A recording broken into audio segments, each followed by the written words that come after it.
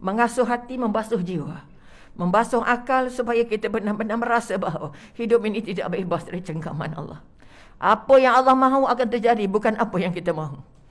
Apa yang kita hajat dan apa yang Allah hajat kadang-kadang tidak bercantum. Ini tolong balik taat dengan Allah. Biar makannya sikit, jangan amalnya sikit. Kita keluh kesah makannya sikit, kami tak makan. Takkan, tak kisah kita aku solatnya sikit. Baca Qurannya sikit. Siapa pun tak nak hantar bantuan? Karena kamu mengharap dengan manusia.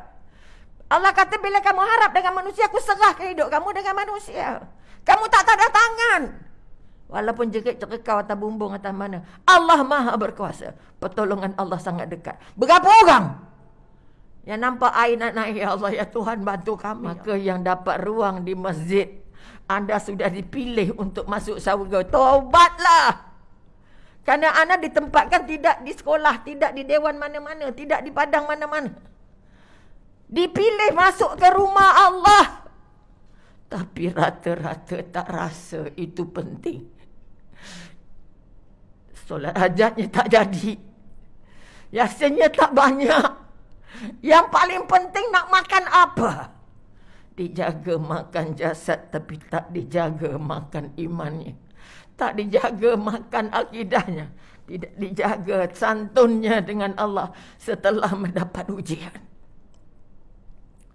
Ujian ini adalah sebahagian daripada hadiah dari Allah. Maka bangun balik kekuatan. Yang sudah kena, yang belum kena, yang akan kena, kita tak tahu. Tak tahu, kita kata hari ini tak kena. Pusingan kedua, pusingan ketiga, kita tak tahu. Sama juga coronavirus. Orang sana kena, orang sini. Kita dok tak apa. Tiba-tiba dah dalam rumah. Kerana yang kena adalah pilihannya Allah. Rumah tinggi mana, lapis mana, naik sampai atas. Okey. Ha, sebab itu kata Sungai Loi masih tak boleh masuk. Bukan sudah hantar berlori-lori barang. Tapi masih tak boleh sampai. Itu mahunya siapa? Jangan kita kata siapa punya kawasan ni kata dia mana orangnya, mana itu mana. Mana Allah? Ini yang kena cari. Di mana Allah di hati kamu? Di mana Allah dalam hidup kita? Di mana Allah dalam pekerjaan kita? Di mana Allah dalam kita mendidik anak? Kita tak masukkan perintah Allah, peraturan Allah, peranan Allah, sentuhan Allah dalam hati anak-anak. Akhirnya bila berlaku perkara-perkara ini cemasnya sepuluh kali ganda dengan orang-orang yang beriman. Anak muda yang tak solat solat jumlahnya menggunung. Sebab itu Allah sudah tidak lagi banyak belas kasihan. Bagi dulu.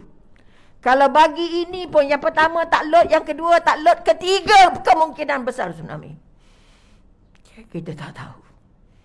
Kalau ini yang dapat menjemput orang-orang beriman untuk berjumpa Allah. Seperti mana yang berlaku di Aceh.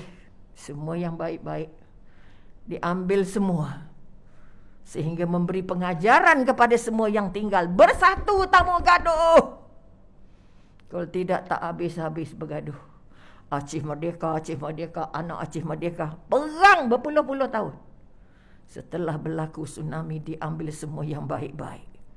Diambil semua yang bagus-bagus baru yang tinggal memikirkan mengapa terjadi di Aceh.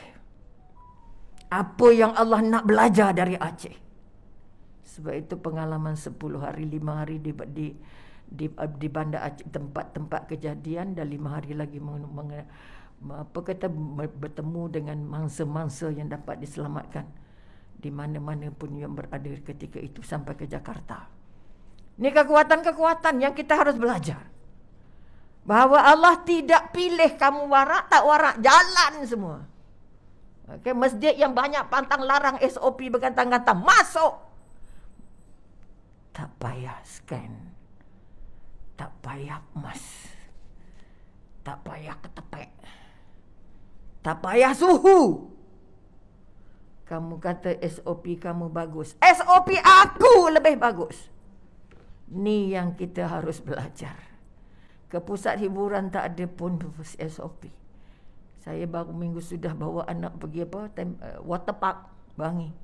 Berlambak. Sikit pun tak kisah jarak. Sikit pun tak kisah mas. Tak ada siapa bu, bu, bu, ambil, ambil, ambil pot ke tu. Kenapa yang fokus sangat dengan masjid ni? Bilang kira pakai jari kamu boleh, kamu tak boleh, kamu boleh, kamu tak boleh. Berapa ramai anak muda, anak-anak kanak-kanak yang patutnya solat Jumaat sudah tidak lagi solat Jumaat. Hangga lupa ke Jumaat. Kerana pantang larang yang kita kata takut dengan manusia tapi tak takut dengan Allah. Tak ramai yang fight. Tak ramai yang hantar surat. Kenapa nak masjid berkira sangat? Dah tengok kat supermarket berlama-lama. Tengok kat mall gantang-gantang. Ha, ini kekuatan harus kita kita mencabar masjid. Kalau semuanya bersatu. Kenapa pantang larang besar sangat dengan masjid? Sehingga dikira-kira, dipagar, di, di, Catu macam kastang. Okay. Ini Allah marah. Allah murka. Ada yang dimatikan, ada yang dihidupkan. Mudah-mudahan dia menjadi satu daripada hadiah untuk kitab kita berfikir. Mengasuh hati, membasuh jiwa. Membasuh akal supaya kita benar-benar merasa bahawa hidup ini tidak bebas dari cengkaman Allah. Apa yang Allah mahu akan terjadi, bukan apa yang kita mahu. Apa yang kita hajat dan apa yang Allah hajat kadang-kadang tidak bercantum. Maka dengan sebab itu kepada semua mangsa. Memang harapkan kalau yang ada di sini tolong balik taat dengan Allah. Biar makannya sikit, jangan amalnya sikit. Kita keluh kesah makannya sikit, kami tak makan. Takkan tak kisah kita aku solatnya sikit.